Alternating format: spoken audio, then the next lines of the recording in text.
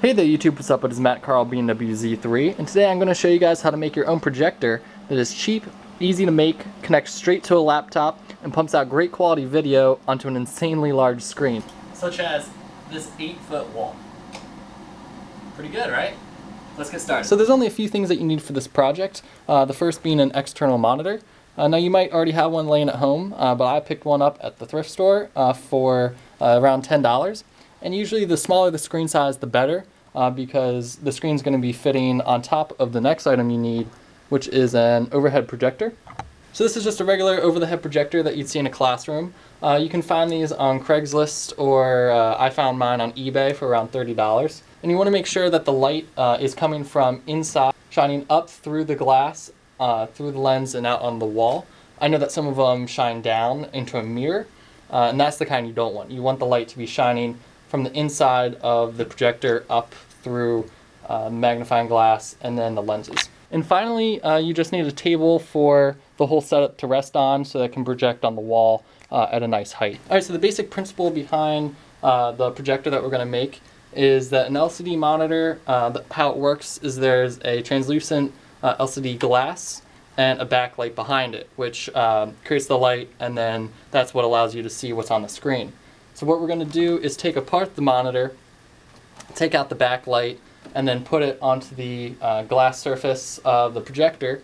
And so the light inside is going to shine up uh, through the magnifying glass, through the lenses, and going to project it onto the wall, which actually makes a really good picture uh, for only spending a couple dollars. All right, so the first thing we're going to do is take apart the external monitor.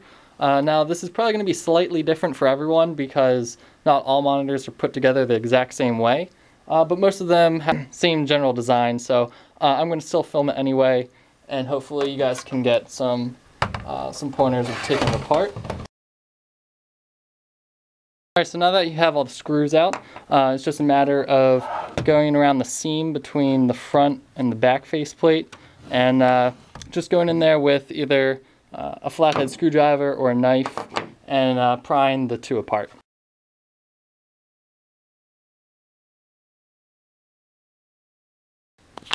Alright, now that you have all the screws out, uh, you can just slowly take off this back plate. And that reveals all the circuitry of the monitor. Alright, so when you're finished taking apart the monitor, uh, if the actual LCD panel has the uh, circuitry going onto the back, that's what you don't want. You don't want your LCD monitor to uh, have the circuitry folding back onto itself. Uh, what you do want it to look like is right here. Uh, as you can see, this is another LCD panel, uh, but instead of the circuitry folding back onto itself, it actually just extends off onto the actual circuitry of the LCD monitor. All right, now to mount the monitor uh, to the projector, we're just gonna simply lay it over very carefully. It's all very delicate. Uh, lay it over so that uh, this would be the front of the screen that would be facing outside, um, outside on the monitor. So we're going to lay that down and then place the circuitry behind it. Uh, this is when you want to find a, a good sized table that would fit everything. Okay. So behind here I just have a couple boxes so that they're not hanging from the wires. Alright, so this is the LCD panel mounted onto the projector. Uh, and I just have uh, it plugged up to uh, a laptop uh, via VGA, uh, or you know it'd be any display port that the monitor had.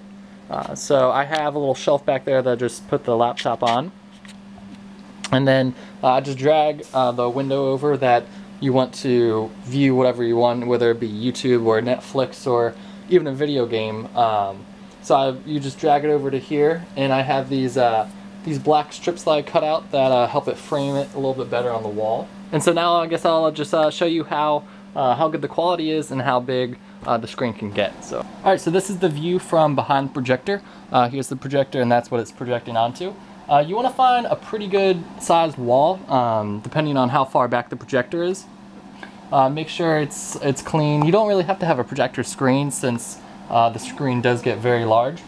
So right now it doesn't look that great, uh, but when you turn out the lights, uh, you can tell that the Uh, the quality is very good and it projects onto an insanely large surface. So when you are using the projector, uh, I did find it kind of annoying that uh, it was so bright over here. If it's if you're trying to watch a movie, you want it to be dark. Uh, so what I did was I made a little enclosure for it, and it kept the kept the light out really well. So I'll show you how you made that.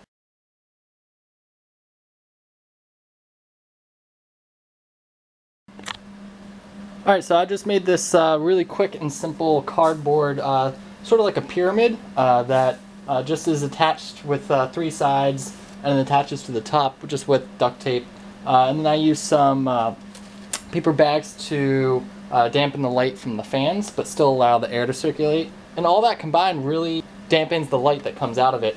so if you see if I turn it off, turn the lights off, the light is barely anything coming out of the projector and uh, still looks absolutely amazing on the wall.